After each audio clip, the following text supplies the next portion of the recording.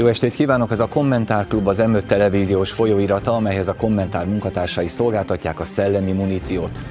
Mai adásunkban szó lesz az átalakuló Európai Unióról és a belülről vezérelt Magyarország megteremtéséről is. Amivel pedig kezdünk, abortusz, mint alapvető emberi jog, európai szuverenitás és jogalkotást kezdeményező Európai Parlament. Ilyen értékek mentén képzeli el az Európai Uniót a baloldal. A szakértők szerint az Európai Egyesült Államok gondolata nem megvalósítható terv, az európai szuverenitás helyett pedig a nemzetek önállóságát kellene előtérbe helyezni.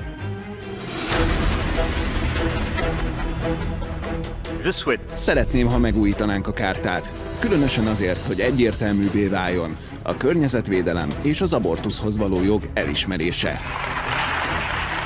A tanács soros elnökségét jelenleg betöltő Franciaország reformokat kezdeményezett az Európai Unió jövőjét illetően. Emmanuel Macron elnök egyebek mellett azt szeretné, ha az abortusz intézménye bekerülne az Európai Unió alapjogi kartájába.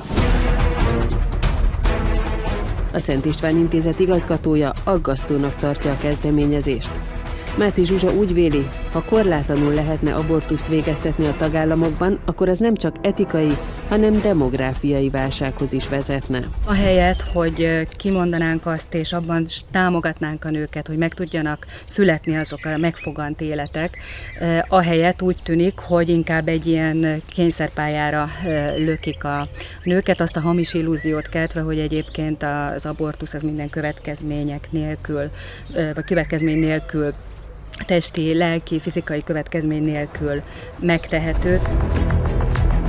A francia elnök az Európai Bizottsággal egyetértésben a gyűlöletbeszédet is beemelné az Unió egyik legfontosabb dokumentumába. Olyan bűncselekmények mellé, mint az emberkereskedelem, a szexuális bántalmazás vagy az illegális fegyverkereskedelem. Az Ordó Juris szervezet elnöke szerint ezzel az a legnagyobb baj, hogy a gyűlöletbeszéd fogalmát illetően nincs egyetértés. A baloldal ugyanis minden olyan megnyilvánulást annak tekint, amely a radikális baloldal kritikáit fogalmazza meg. A gyűlöletbeszéd, ahogy a baloldal definiálja, politikai szinten az EU-ban messze van attól, ahogy az Emberi Jogok Európai Bírósága meghatározza azt. És természetesen messze van attól is, amire nekünk, polgároknak szükségünk van. Szerintem a legfontosabb, hogy szólásszabadság legyen, és ne valamiféle korlát vagy cenzúra, mint amilyen a kommunista rendszerben volt. Franciaország már tavaly év elején elindította a konzultációt Európa jövőjéről, ahol az európaiak elmondhatják véleményüket bizonyos témákban. A lista azonban többségében ideológiai kérdéseket tartalmaz, mint a társadalmi igazságosság, a genderideológia vagy a migráció kérdése, miközben az EU bővítése vagy a nemzetközi civil szervezetek politikai befolyása nem szerepel a témák közt, mondja Boris Kánoki.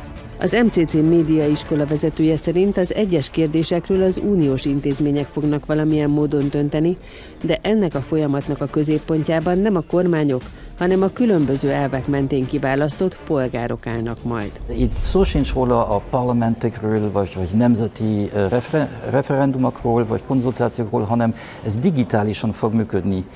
Hát a, a, a nemzetállamokat kikerülve közvetlenül az európai állampolgároknak egy, egy részét felszólítják, és, és ez akkor belefolyik a szándék szerint az európai döntéshozatalba. A német kormány a konzultáció eredményeit egy európai szövetségi állam létrehozására kívánja felhasználni. Ugyanezt akarja Emmanuel Macron is, aki szerint az Európai Parlamentet jogalkotó kezdeményezési joggal kellene felruházni. Trócsányi László azonban úgy látja, ezzel csökkenne a nemzeti kormányok hatásköre, gyengülne szuverenitásuk, miközben az Európai Unió nemzetállamok szövetségén alapszik. Az európai parlamenti képviselő szerint a digitalizáció vagy a környezetvédelem kérdése nemzetközi összefogást igényel, de bizonyos döntéseket a nemzeti kormányoknak kell meghozniuk. Azt látni kell, hogy ezek mögött a stratégiai érdek mögött nemzeti érdekek is vannak, hisz az eltérő geográfiai helyzetből fakadóan az egyes országok másképpen állnak bizonyos kérdésekhez, és itt egy tárgyalásokra van szükség, és kompromisszumokra, mert az egész európai építkezés az alapvetően a kompromisszumokra épül. Trócsányi László hozzátette, a francia elnök kijelentései ellentmondásosak, mert nyilvánvaló, hogy a tagállamok nem fognak teljesen egyetérteni sem az európai szuverenitással, sem az abortusz alapjogok közé emelésével kapcsolatban. A képviselő szerint Macron csak a közelgő francia választásokat akarja megnyerni azzal, hogy megmutatja, milyen elkötelezett az Európai Unió egységesítése felé.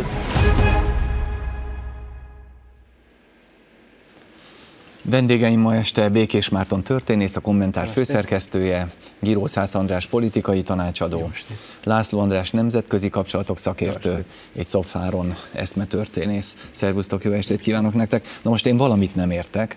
Van Németország és Franciaország, két szuverén állam, legalábbis úgy gondoljuk, és ehhez képest a vezetőik Európa Egyesült Államokon törik a fejüket, amivel a saját országuk szuverenitását adják fel, vagy tévedek, és abban reménykednek, hogy az Európai Uniót ezután is a kontinens ők fogják befolyásolni?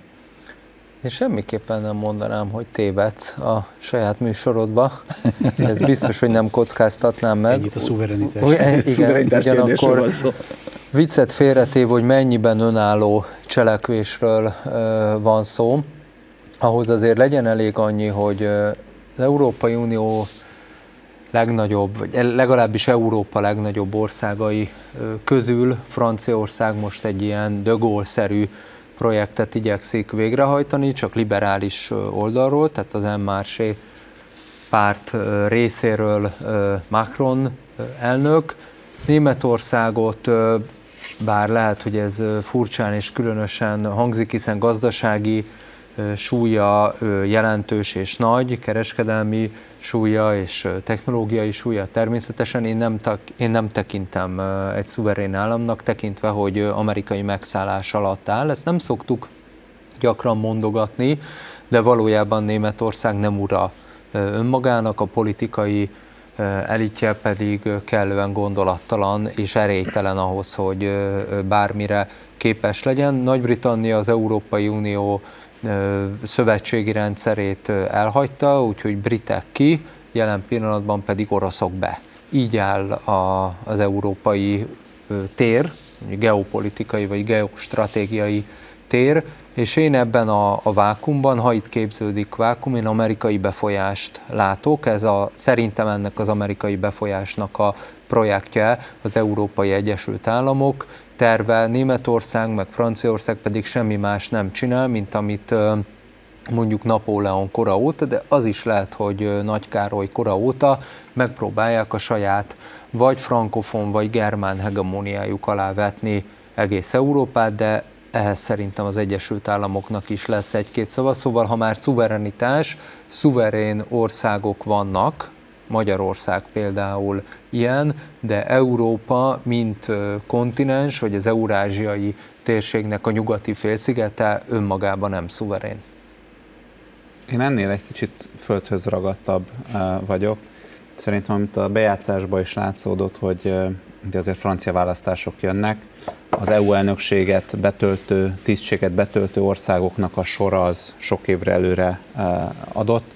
A francia elnök is egészen biztosan látta azt, hogy mikor jönnek a francia választások, mikor lesz ő az Európai Tanácsnak a pontosabban az Európai Unió tanácsának az elnökségét mikor fogja adni a francia kormány, hogy pontosan fogalmazzunk. És fel volt építve, eh, amiről itt szó volt, ez, a, eh, ez az Uni, Európai Unió jövőjéről szóló konferencia sorozat is, lefektetve, azokkal az üzenetekkel úgy keretezve, hogy az megfeleljen a, a francia elnöknek, hiszen ő volt a kezdeményezője, és tudta, hogy a kifutása az pedig a francia elnökség alatt lesz, és a e, francia elnökválasztási kampányban, amiben ő akart aratni egy nagy diadalt. E, szerintem most egy kicsit elszámolta magát, egyrészt e, közbejött egy olyan dolog, amire nem számított, ugye itt a szomszéd, szomszédban a háború, amiben nem igazán van helye most egy ilyen örömteli Európa jövőjéről beszéljünk, miközben annál, hogy éppen az abortusz az most alapjogi kartába belekerül-e uniós szinten jóval fajsúlyosabb és hosszú távon stratégiai döntések elé kell nézni az uniónak, hogy hogyan, mit akar egyáltalán a kontinensen, és milyen biztonságot akar garantálni. Szerintem ez a vit, nem véletlenül halasztották el egyébként ennek a konferenciának az összegzését, most márciusban kellett volna megtörténnie. Szerintem azt fogják nézni, hogy hogyan lehet, szerintem a francia elnök most már ezt elengedte, hogy ebből kampánytémát csináljon, és azt fogják nézni, hogy hogyan lehet ezt a konfliktust felhasználni arra, hogy, hogy több egységesebb európai döntéshozatalt kényszerítsenek ki a tagállamokból. Szerintem ez látványos. Minden válságkor ez van, tehát a Covid-járvány alkalmával is ez volt, mostani válságot is erre használják föl. Szerintem uh, itt van egy nagyon erős, ilyen nagyon reálpolitikai és belpolitikai elem. A francia elnök, uh, hogy mondjam, kampányol. Én, én túllépnék a francia belpolitikán, ezzel egyetértek egyébként mind a két észrevétellel. Tehát volt egy európai keretrendszer, amit megalkottak, és ezt vajon miért kell megváltoztatni? Miért kell egy olyan kezdeményezést elindítani, hogy újra generálják ezek, ennek a belső és külső határait a szónak a mozgástér értelmében? Azért, mert a régi keretrendszerben a korábbi klasszikus Párizs-Berlin tengely mellé felzárkózott, hanem is egyenrangúnak, de mindenképp megmutatta magát Közép-Európa, hogy egy alternatív gondolkodásmódot tud elképzelni, ami nem csak a az ország, nemzet, és most sorolhatnám, hogy milyen felfogásban mutatkozik meg, hanem igenis összességében, mivel összeszerveződik valamilyen módon, egy gazdasági erőben is megmutatkozik. És azért kell újra generálni a franciáknak, és azért kell a németeknek ehhez valamilyen módon viszonyulnia, mert nem akarják elveszíteni a nyugat-európai megmondó szerepet Közép-Európában. A gyarmatosító és a félgyarmat helyzet, hogyha nagyon határozottan akarom ezt megfogalmazni.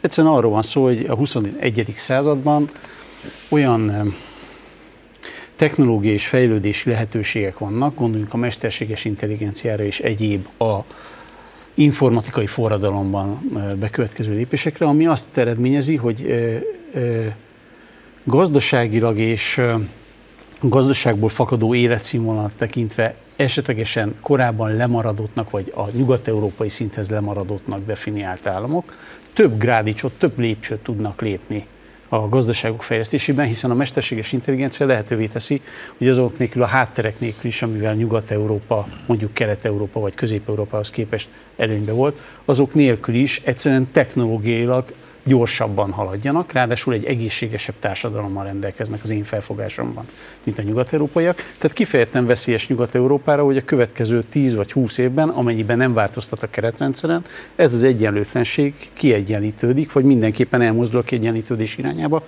És hogyha túl, túlnézünk a választási időszakon, vagy annak a, a törvényszerűségén, akkor egy ilyen messzebb menő folyamatot is feltételezhetünk az egész mögött. Áron? Azok, akik elég erősnek érzik magukat arra, hogy az európai integrációnak a következő lépéseit levezényeljék, ők nem véletlenül jelölnek ki szerintem olyan témákat, amik a hagyományos képviselet igényeket, rendelkezés igényeket fölülírják, szétszabdalják, a politikai diskurzusnak a struktúráit felbomlasztják. Tehát amiket látunk itt a kérdések között, azok nem azzal foglalkoznak, hogy egy politikai közösség hogyan ragadja meg a sorsát. Egy olyan történelmi pillanatban egyébként, amikor ez egy nagyon is releváns kérdés szerintem, akár itt a orosz-ukrán konfliktus kapcsán, hanem olyan identitáspolitikai kérdéseket jelöl ki, ami kifejezetten ezeket a témákat, és ezeket, amikben a, a például Kelet vagy Közép-Európa magára ismerhetne, ezeket az identitás témákat, vagy ezeket a sorskérdéseket háttérbe szorítja. Én ezt látom, és tényleg csak arra vagy, vagyok figyelemmel ezzel kapcsolatban, hogy a témákat hogyan jelölik ki ez a konferencia. Témák, amiket Áron mondott, én ezeket megint egy amerikai ernyő alá tudom sajnos hozni. Ugye ismerjük az amerikai politikai kultúrát részben, a, a népkultúrát is, ez egy puritán hagyományból jön, ami átalakult a 60-as évek, hát, sőt már az 50-es évek elején elkezdett átalakulni, a 60-as évek közepén, végén ez felgyorsult, és a 70-es, 80-as években mainstream vált, a 90-es években kilépett az Egyesült Államok határai közül, és globális kultúrává változott. Ez, ez a kultúra több pontból áll, mindegyik beszivárgott Európába, jellemzően azokba az országokba, amik az euróatlanti integrációba kulturálisan, gazdaságilag is mélyebben fekszenek, és hasonló problémákkal bírnak, mint az Egyesült Államok. Mire gondolok? MeToo kérdés, LMBTQ kérdés, természetesen a BLM kérdés, mindez ugyanarra a nevezőre hozható, a, amit egyébként András is mondott, illetve Áron is mondott, tehát a társadalom egységeinek, kohéziójának szétbontására irányul. Nőt a férfival, cisgendert a nem tudom, hogy hív, trans neművel, fiatalt az öreggel, színesbőrűt a nem színesbőrűvel össze, össze kell ugrasztani, szét kell bontani a társadalmat, az individuum, individumokra bontani, és az egészet aztán egy globális struktúrába integrálni. Mindez teljesen ellentmond Európa gyökereinek, tehát a görög, görög római, zsidó-keresztény kulturális tengely meccéspontjának, hiszen mi az összegyűjtésben, főleg itt Magyarországon a kormányzati filozófia és a nemzeti integrációba gondolkodik, tehát tőlünk ez nagyon idegen. Én ezt egyértelmű amerikai, méghozzá progresszív amerikai hatásnak látom, és nagyon érdekesnek tartom, hogy a második világháború után rögtön elég erős baloldali mozgalmak voltak Franciaországban is és Olaszországban is, hát persze ezek mögött volt társadalmi kívánalom, de hát leginkább szovjet irányítás, és ezek a pártok akkor, tehát az olasz kommunista párt és a francia kommunista párt, két kattintás az interneten, már a 40-es évek végén, az 50-es években, tehát a nagy közös győzelem után határozott amerikai, Amerika ellenes álláspontba fordult, olyannyira, hogy definiálták a saját nemzetállamuk, tehát baloldalról, szélső baloldalról, a saját nemzetállamuk kulturális szövedékét kezdték el védeni az amerikai hatásoktól. Mennyit fordult a világ, hiszen manapság, de hát ez mondjuk az olasz filmkultúrát, a francia nyelvet, a francia konyhát, tehát amikor komcsik védték a francia konyhát az amerikai behatástól, azért az, az ma már olyan, olyan nagyon bizarnak tűnik. Manapság a baloldal, ami a Nyugat-Európában egységesen a progresszív transatlanti törekvések tagja lett, élen jár a kulturális és társadalmi amerikanizációba, ami semmi jót nem ígér Nyugat-Európának se, de én Nyugat-Európáról részben egészben lemondtam, de szerintem számunkra se. Március 25-i dátummal kijött egy nyilatkozat, azt mondja, a nemzeti parlamentek nagy része ellenzi a centralizációt. Ez a címe a nyilatkozatnak. Szerettek volna most pénteken, vagy talán csütörtökön aláíratni egy közös nyilatkozatot az Európai Parlament és a nemzeti parlamentek. És a nemzeti parlamentek nem írtak el ezt a nyilatkozatot, mert hogy ők a szuverenitás mellett állnak, többségében legalábbis szuverenitás mellett állnak. Ez a most csütörtöki vagy pénteki helyzet. Tehát mi kell ahhoz, hogy a nemzeti parlamenteknek ez az állásfoglalása megváltozzon, és aláírják azt, hogy bocsánat, mi feladjuk magunkat, és mégiscsak a az Európa Egyesült Államok mellett tesszük le a voksunkat. A kultúrának kell megváltoznia? A politikai helyzetnek? András mindig a földhöz Szerintem a politikai logikának kell megváltoznia. Szerintem nincs az a politikai intézmény, legyen szó nemzeti parlamentről, vagy másikra, melyik feladna a hatásköréből, csak úgy, ha csak nincs valami eh, konkrét ügy. Szerintem erre megvannak a... Tehát uniós szinten nem lehet ezt megcsinálni szerződésmódosítás nélkül, szerződésmódosítás pedig nem lesz egyhangú tagállami eh, hozzájárulás nélkül ergo ezek ilyen vágyálmok, ezek, ezek, ezek kommunikációs anyagok, ezek nem valóságosnak tűnő tervek számomra. Hát igen, de itt merül fel a szuverenitás és a jogszerűség, mert mi szokott ilyenkor történni, azokra, akik nem akarnak beállni a fősodorba, azokra nyomást gyakorolnak, vagy így, vagy úgy. Tehát uh, itt azért ez egy erőpróba, tehát a ember kell a gátra kifejezést nyugodtan elővehetjük a jövőbeli következő évekre, mert ennek ellenállni nem lesz egyszerű és nem lesz könnyű. Tehát amikor az, ha jól értem, a kérdés az volt, hogy mi kell ahhoz, hogy ezek a parlamentek beadják a derekukat. Meg a politikai elitek hát minden a, országban. A parlament politikai elit ez részben át, átfedésben van. Engem már az is zavar, hogy az a mondat benne volt a felolvasásban, hogy a parlamentek többsége vagy legtöbbje. Tehát magyarul voltak olyan nemzeti parlamentek, akiknek Igen. ez nem okozott problémát. És akkor visszamehetünk a 60-as évek végére, amikor azt hiszem az olaszoknál fogalmazódott meg, hogy hogy úgy tudják ezt a progresszív ideológiát széles bázisra tenni, hogyha az eliteket nyerik meg, és az, eliteket, az elitek átalakításában vesznek aktívan részt, és azokban a parlamentekben, ahol már így nyilatkoztak, azokban a parlamentekben azt kell, hogy mondjam, hogy ez az elmúlt 40 év nem múlt el nyomtalan, vagy 50. Hosszú menetelés a intézményeken keresztül, csak ez a hosszú menetelésnek egyszerűen mi keresztbe fekszünk, hiszen Magyarország 32 évvel ezelőtt nyerte vissza a függetlenségét, nekünk még nagyon friss élmény. Nekünk van mit ö, veszteni, és Magyarországon, ha már ö, politikai elit, hát azért ö, legyünk nyíltak, a magyar államnak a, a vezetése köszönhetően a, a demokratikus felhatalmazásnak a Fidesz nemzedék, vagy a Fidesz generáció kezében van, mint politikai garnitúra, mint, mint működő kormányzó párt, és természetesen, mint 89-es nemzedék. Ezt a kommentárlapszám bemutatón meg is sokat beszéltünk erről, Ben András vetette ezt, ezeket a kérdéseket fel, tehát ez a 68-as, vagy már igazából a, a 68-as generáció másod nemzedéke van nyugaton, ez, illetve a 89-es nemzedék között én szerintem nem első, vagy nem csak politikai, ideológiai ellentét van, bal-jobb, progresszív, konzervatív, föderális, lokális, nagyon sok néven szoktuk ezt említeni, hanem közösségszervezési, tudásszerzési, ez szinte már filozófiai az ellentét, azokat pedig nem nagyon lehet meghaladni. Itt a különböző sebességgel szokták mondani, hogy kétsebességes Európa. Ez bizonyos értelemben már így van, de nem abban a negatív értelemben, hogy itt különböző,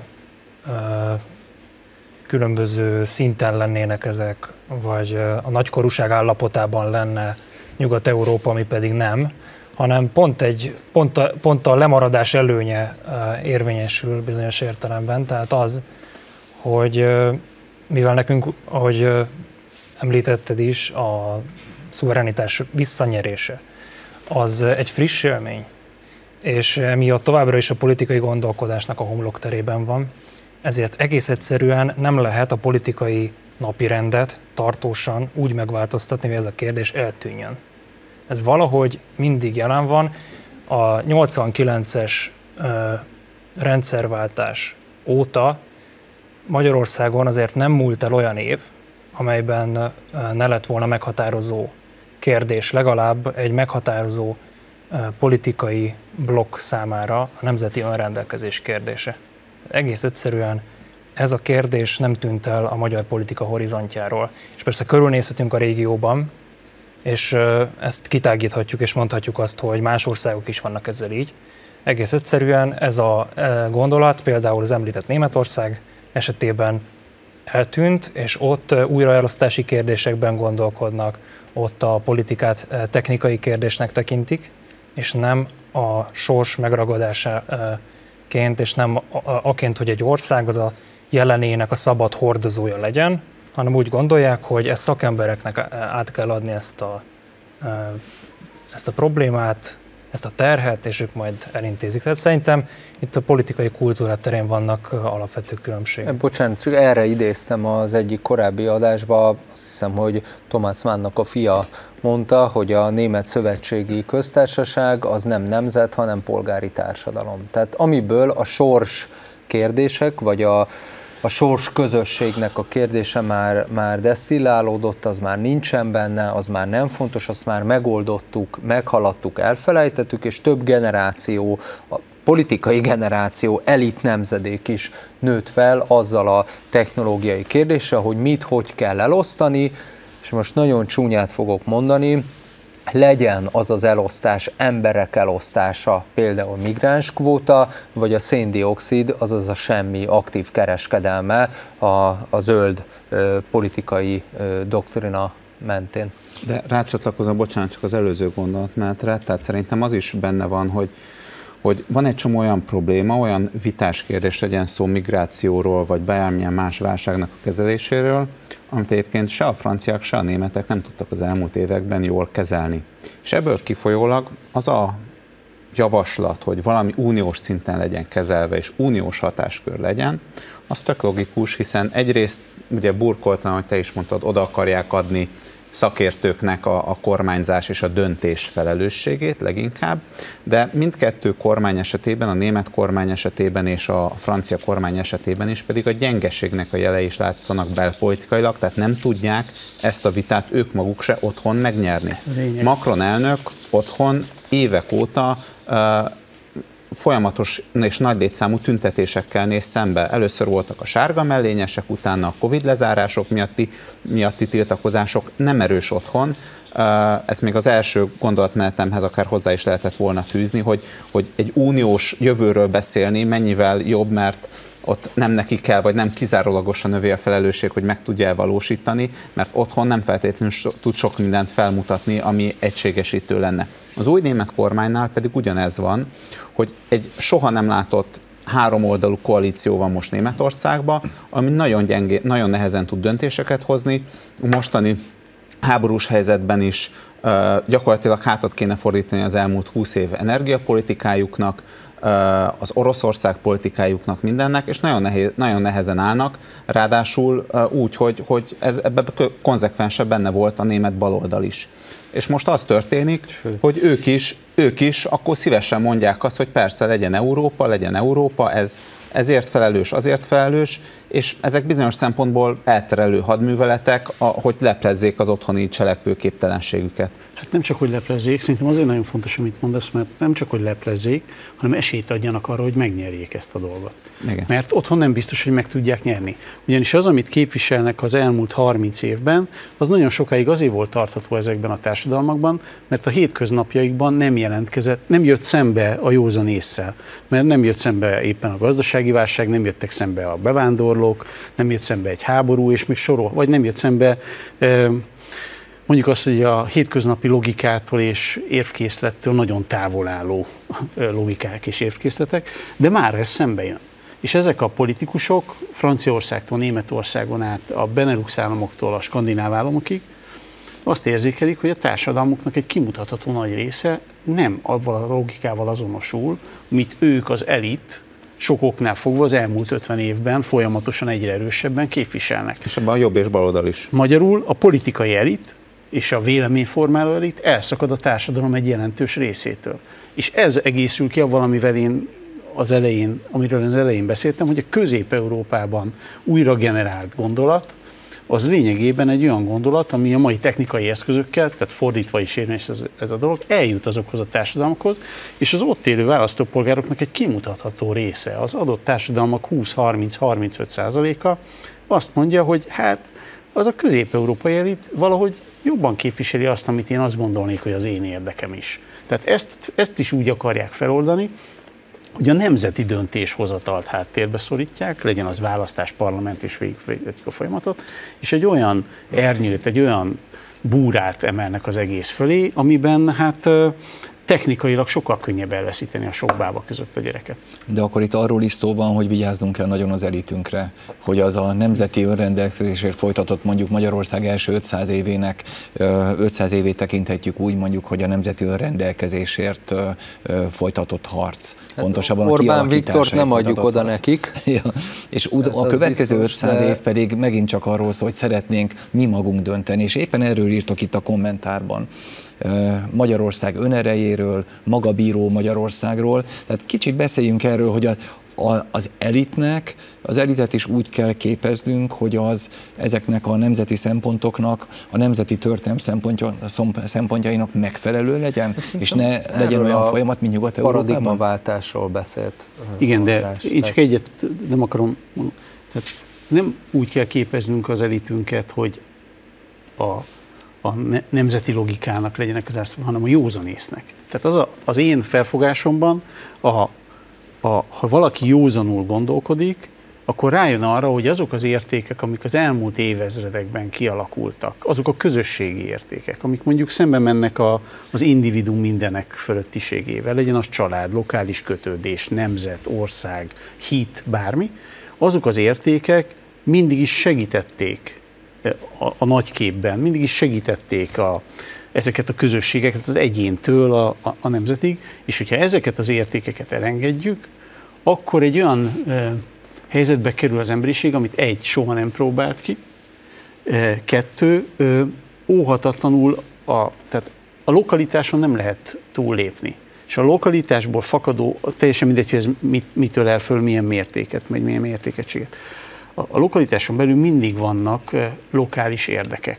És hogyha egy ilyen típusú helyzet áll elő, hogy a lokalitás háttérbe szorul, a közösségek háttérbe szorulnak, és egyre nagyobb ö, ö, kupolák alatt ö, történnek a döntések, akkor a sok lokális érdek nem hogy elvész, hanem olyan típusú döntések jönnek létre, amely döntések ezt a lokalitásból fakadó jelenben mondjuk Magyarországon meglévő előnyt nem csak eltüntetik, hanem egyszerűen olyan dolgokat hoznak a helyébe, amelyek a mai józan eszünkkel felfogott evidens érdekeinket annulálják teljes mértékben. Tehát sokféleképpen meg lehet ezt közelíteni, de én azt mondom inkább, hogy a józanész előtérbe helyezése az automatikusan hozza majd azokat az értékeket, amelyek mellett mindjárt kiállunk. A maga bíró Magyarország a józanészről is szól? Hát szerintem igen, annak a, annak a felismerése azért térek ide vissza mindig, és a András gondolata sokat segít ebbe, hogy, hogy alapvetően a világ a szűkösség helye. Tehát a, nem élünk örökké, nem ismerhetünk meg, nem köthetünk barátságot egy millió emberrel, hanem szerintem legfeljebb mondjuk öttel.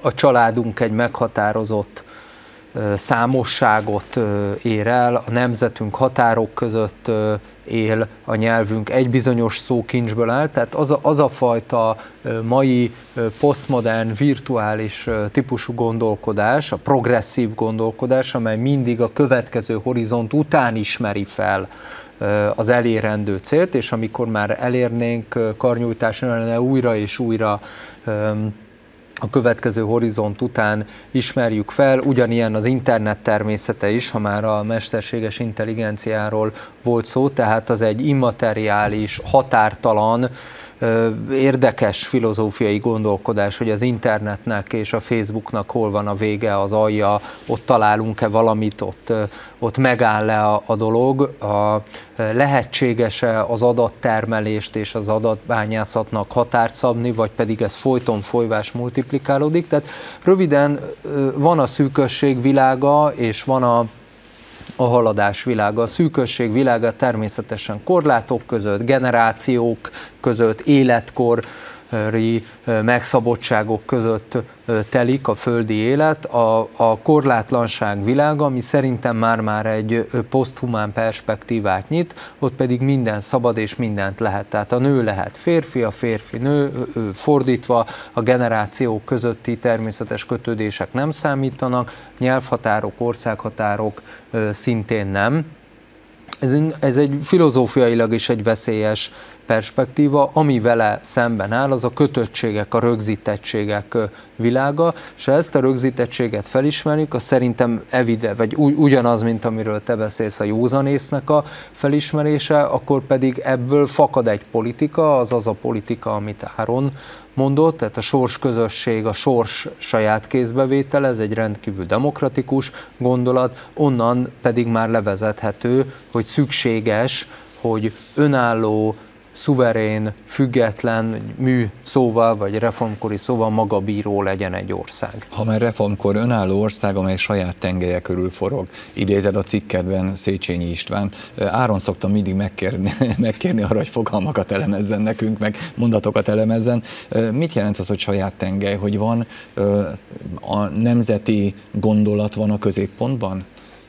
Azt mondhatjuk, a görögök ismerték az oikosznak és a polisznak a kettősségét, vagyis a háztartásnak, lakóközösségnek a, és, a, és a politikai közösségnek a kettősségét. Ma azt látjuk, hogy ez a térrend, ami egy politikai térrend volt, ez felbomlik, és az oikosznak, a magánháztartásnak a logikája eluralkodik a politikai tér fölött.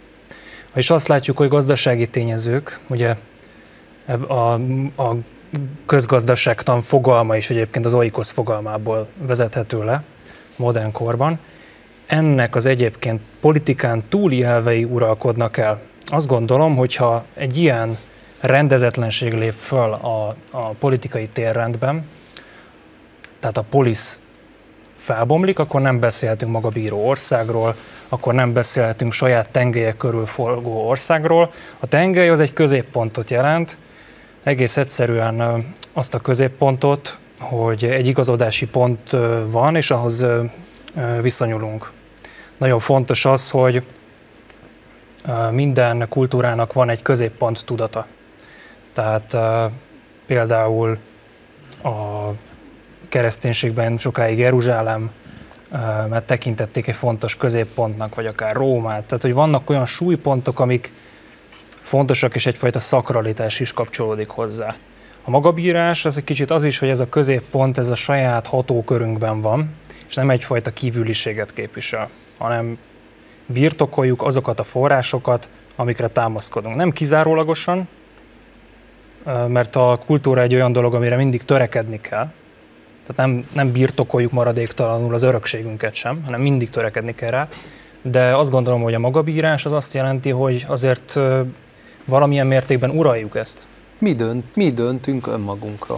Igen, de amikor beszélünk erről, ha belegondoltok, a kultúrától, a mi döntünk önmagunkon keresztül, nagyon sok miről beszélünk, az identitásunkról beszélünk. Ugye számtalan dologból áll össze, amiből létrejön az a karakter, az a felfogás, amit mondjuk identitásnak hívunk, és azok a kezdeményezések, amiről beszéltünk, akár a francia elnöknek, akár másnak a kezdeményezései, az pont ennek az identitásnak a szétzúzásáról szól.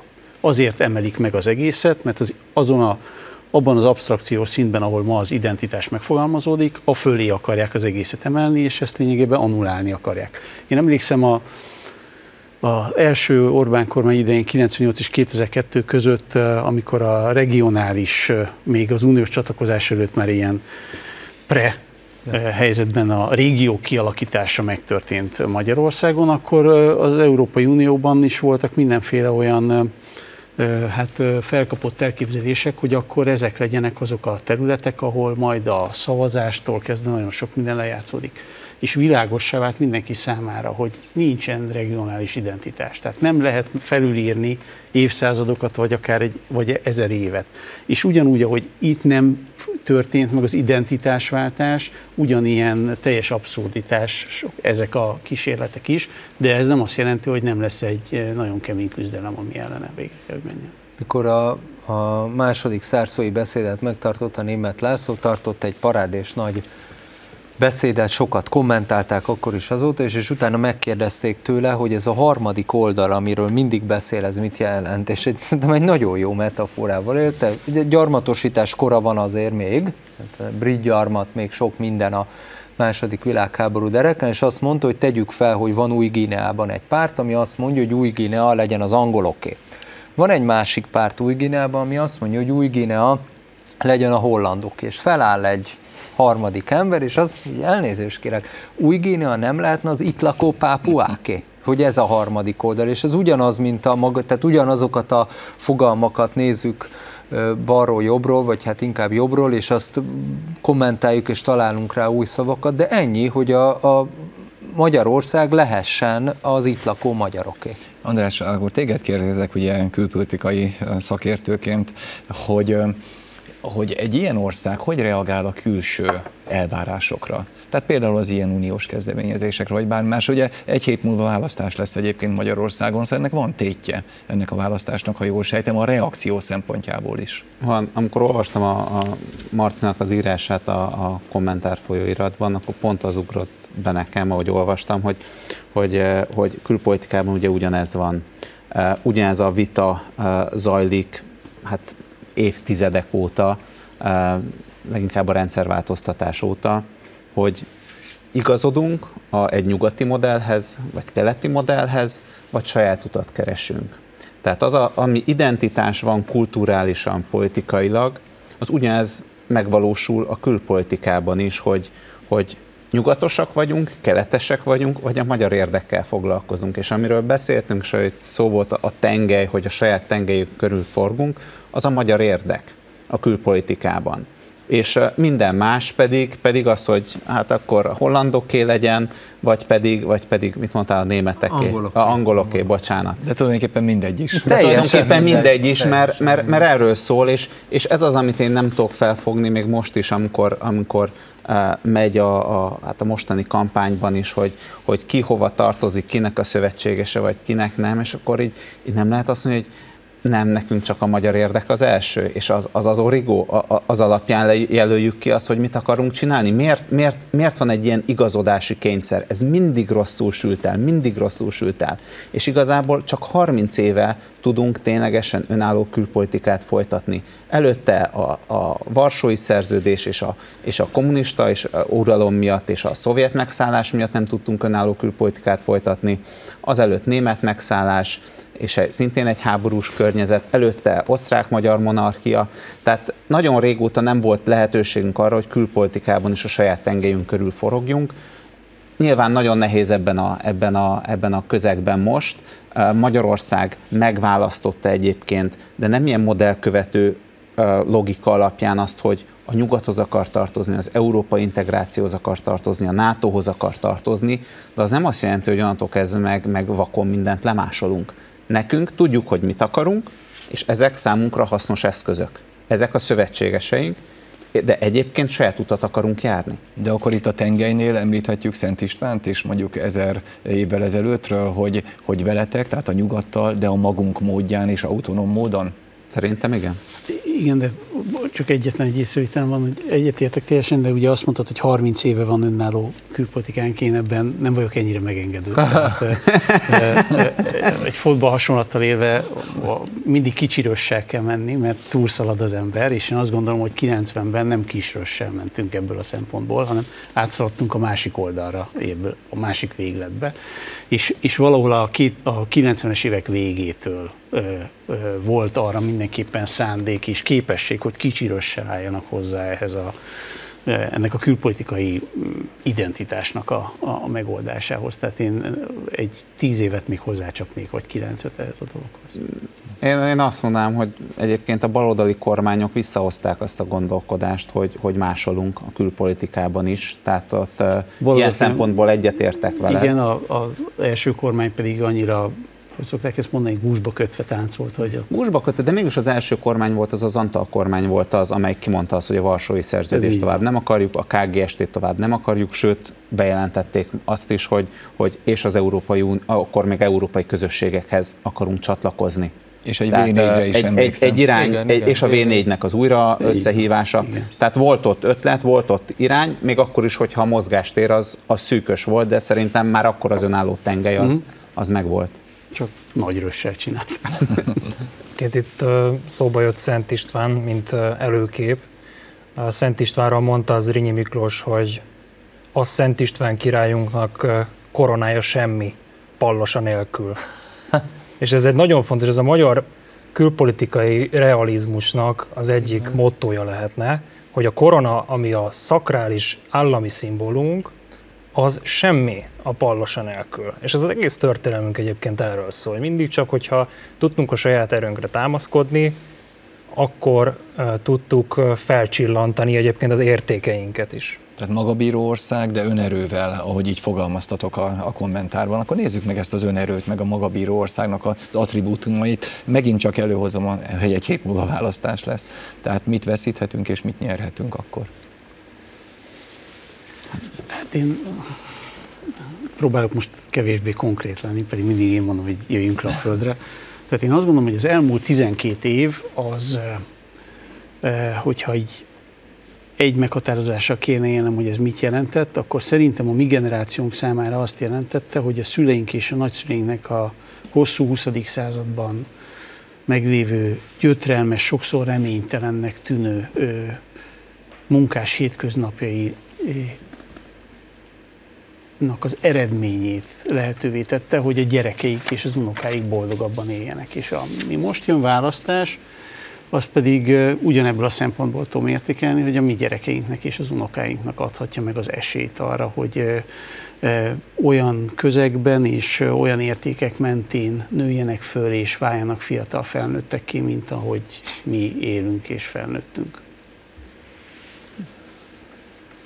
Azért nehéz erre válaszolni, mert minden választás persze sorsfordítónak nevezhető, minden választáson nagy a tét, nem Európának abban a részében élünk, a részben azért, amit három mondott, hogy nem egyszerűen polgári társadalom vagyunk, hanem nemzet vagyunk, aminek sorskérdései vannak. Tehát itt a magyar politikai kultúra mindig sor, és ahogy a magyar irodalom legjava is sorskérdések megoldására szerveződött, ez pedig azt jelenti, hogy választási lehetőség van, és hál' Istennek van választási lehetőség. Azt kell mérlegelni, hogy valóban ilyen történelmi perspektívával, vagy történelmi horizonton nézve a, egy veszélyes világban, egy veszélyes világban élünk. Egy ilyen veszélyes világban az önerőre támaszkodás, a saját sorsról való határozás-e az elsődleges, aztán ennek az eszközeitől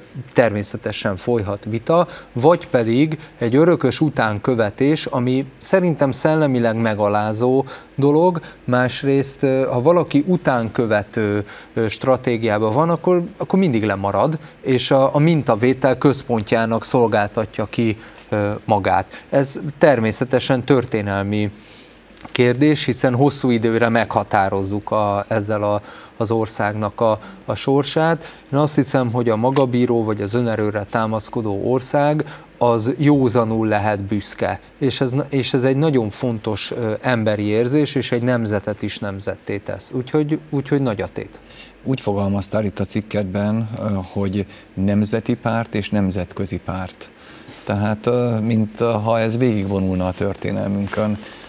Igen, azt hiszem, hogy végigvonul, és itt nem jobb vagy baloldalról beszélek, hanem arról beszélek, hogy van egy, egy belülről kifelé gondolkodás, egy, egy belső út, egy önmegerősítő út, egy saját utat önerőből követő gondolkodás. Ez, ez a nemzeti Ez párt. nyilván a nemzeten tud nyugodni, ez a nemzeti párt, és van egy kívülről befelé gondolkodó, vagy kívülről irányított gondolkodás, ez a nemzetközi párt, mert ez a, ez a gondolkodás mindig akár nyugatról, akár keletről, de külső mintákhoz igazodik, és én úgy, úgy látom a magyar történelemből, hogy, hogy ez, ez csak elgyávulás, szomorúságot és kiszolgáltatottságot tud okozni. És úgy gondoljátok egyébként, hogy, hogy ez a mostani választás, az a nemzeti és a nemzetközi párt, mondjam, összecsapása is? Így is megközelíthetjük, de lehetünk, lehetünk azért még ennél is a földre rendben. Is, tehát nem, nem. Tehát hogyha megnézzük az elmúlt 12 évet, meg megnézzük az az előtti időszakot, akkor lefordíthatnánk úgy is, hogy egy ennek a 12 évnek a tanúsága alapján egy létrehozó teremtő kormányzás van az egyik oldalon, és egy felélő kormányzás a másik oldalon, hogyha a 2002-2010 közötti időszakot nézzük, vagy akár a 94-98-at. És azért szerintem ott van egy háztartásban, teljesen mindegy, hogy politikailag milyen beállítottság van az embereknek, ha józanész alapján közelítik meg, vagy pragmatikusan és nem emocionálisan, akkor a józanész egyértelmű, hogy melyiket választja. Én ne, nehezen tudok elszakadni a gondolkodásba attól, hogy külpolitikai elemző vagyok. Ne is szakadj el. Én, én, én, én hasonló törésvonalak mentén azt mondanám, hogy a, a biztonság a tét.